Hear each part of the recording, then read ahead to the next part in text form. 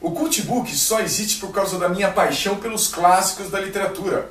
E nesse episódio eu vou falar de um livro que, sem exagero, é um clássico dos clássicos. Você já imaginou que famosas histórias que conhecemos da Bíblia podem ter sido escritas até dois mil anos antes da Bíblia existir?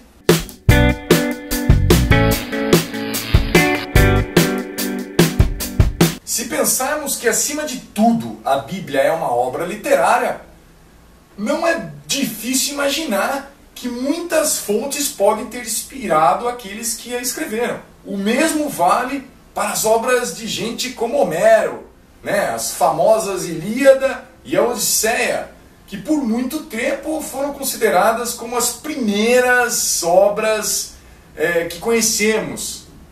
Mas não é bem assim seja a Bíblia, seja a Odisseia ou a Ilíada, todos esses livros, todas essas obras beberam na fonte de histórias que já eram contadas de boca a boca no Oriente. E uma dessas influências é justamente o livro que eu falo nesse episódio, conhecido como a Epopeia de Gilgamesh, ou Gilgamesh, como vocês preferirem, e que no título dessa tradução tem o belo nome de Ele que o Abismo Viu.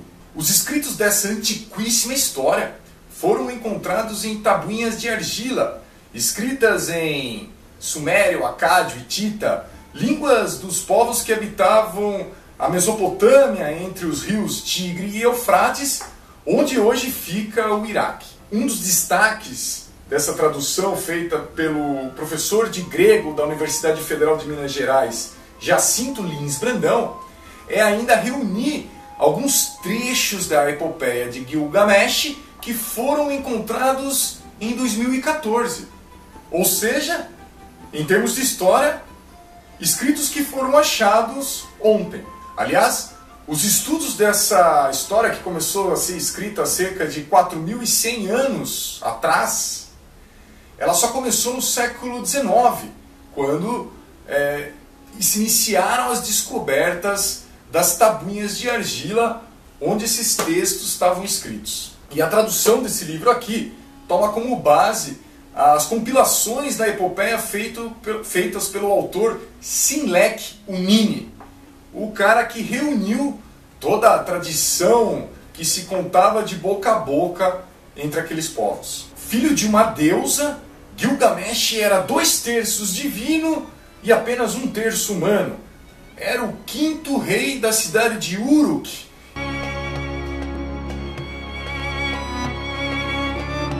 Também reuniu numa embarcação diferentes espécies de plantas e de animais para dar continuidade ao planeta depois de grande, de uma grande e terrível chuva. Acho que você já ouviu essa história antes, certo? Pois é, a história da Arca de Noé, que também existe na Torá judaica, provavelmente teve inspiração nas histórias contadas pelos povos daquele lugar muito tempo atrás. Mas é claro que essa não é a única coincidência que podemos encontrar dessa história, dessa epopeia, com outras histórias que ouvimos falar muito tempo depois. Como um típico deus da antiguidade, Gilgamesh não é um soberano sem defeitos.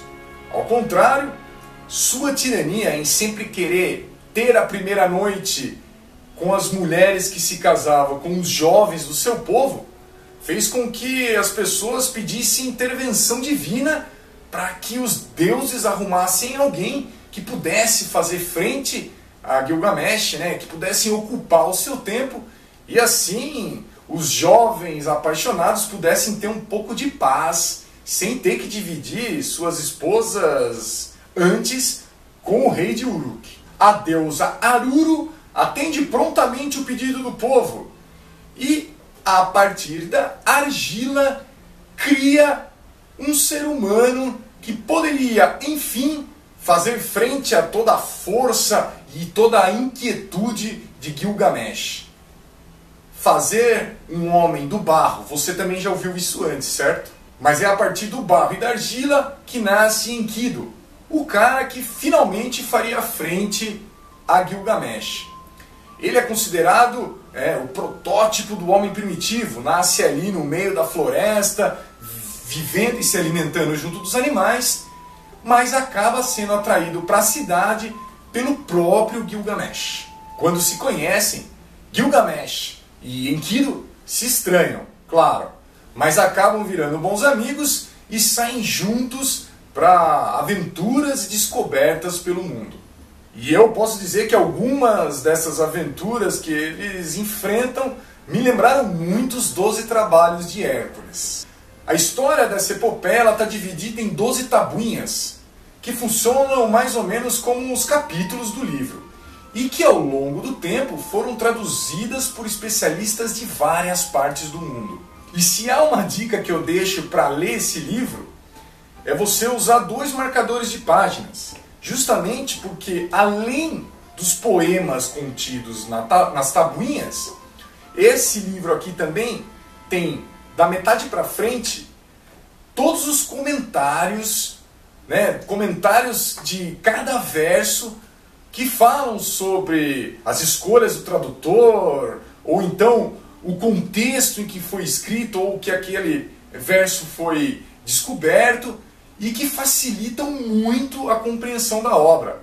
Então, a cada tabuinha que eu lia, eu ia lá para o fim do livro, lia os comentários e ficava tudo muito mais claro e muito mais rico para compreender essa obra fantástica. Os comentários, inclusive, servem para explicar trechos, né, versos, às vezes longos trechos que ainda não foram descobertos e talvez nunca sejam mas é, ajudam a gente a interligar a história. E muito embora esse livro, publicado no fim de 2017, possa ser visto como um material acadêmico, eu confesso que me diverti bastante com a leitura e aprendi muita coisa de uma história que até bem pouco tempo eu desconhecia completamente. Então é isso, espero que vocês também tenham se divertido em conhecer o Gilgamesh e curtam, comentem, compartilhem. Sigam também o Cultbook no Instagram. Eu vou ficando por aqui. Valeu e até a próxima.